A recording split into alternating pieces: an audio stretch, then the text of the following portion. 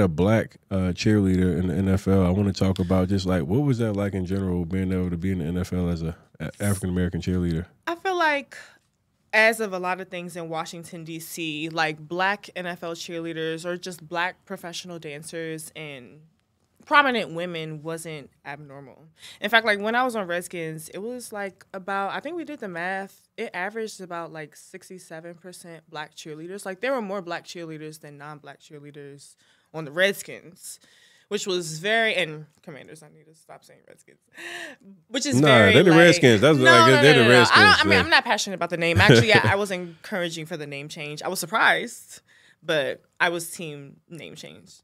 But um, a lot of teams back then, uh, it's changed now, but a lot of teams in the NFL were not like that. But we were so loved because we were a very like the Chocolate City Girls. yeah. So So I, I mean, I never felt like that was unachievable. You know what I mean? I looked up to and I, and I knew that I could be a Redskins cheerleader, which is a privilege. All right, that's super dope, right? Being able to come in, you're, you know, you're saying obviously it's a bunch of African American women on the team, but you did something that not a lot of women were able to do. You actually made it to the Pro Bowl Mm-hmm. uh, as a got a cheerleader. You got a ring. I do. I Oh shit! I didn't know they give you rings for the They Pro Bowl. do. It's not clean, so don't judge. but yeah, just like the Florida, the Florida flower, right? I don't know what it Yeah, is, I think but- it is because it was in Orlando back then. Oh, okay. So Yeah. so dope. How was the Pro Bowl? What was that experience like? Actually, funny story. That was the shittiest game of my life.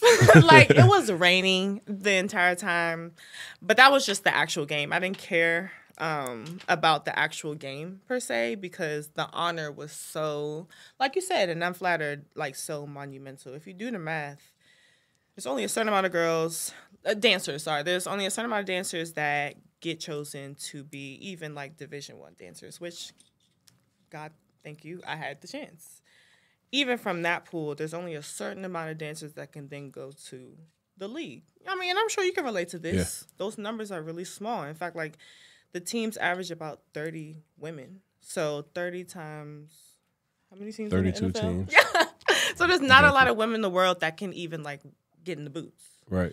And then I'm not sure if you're familiar. You probably are because he has done so much research that only one cheerleader per team gets sent to the Pro Bowl every year. Yeah. And it's not impossible, but you typically do not go ever again. So it's a one stop shot, but you only choose one, th- the girl, the girl of the year, to go from 30 women of each NFL team. So, like, even those chances are smaller. So I don't know. Even I think about it and I'd be like, oh my God, that's so crazy that so many people thought so highly of me to be at the same level of athletes like Tom Brady.